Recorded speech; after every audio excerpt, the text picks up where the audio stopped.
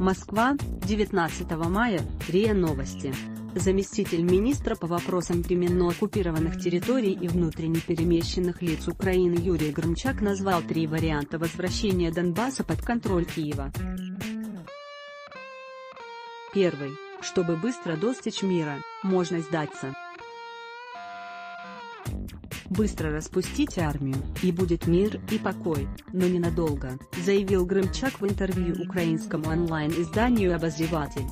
Есть и военный сценарий, но такой расклад маловероятен по многим причинам, добавил политик. По его словам, оптимальным вариантом для Киева будет ввод миротворцев с последующей передачей региона под контроль Украины.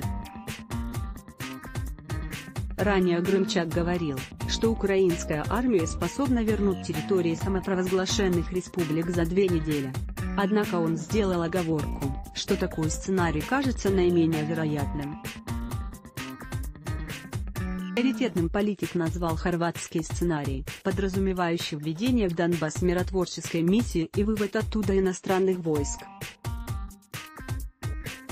Таковыми в Киеве, судя по всему, считают российские вооруженные силы. Украинские власти постоянно заявляют об их присутствии в регионе, хотя убедительных доказательств никогда не представляли.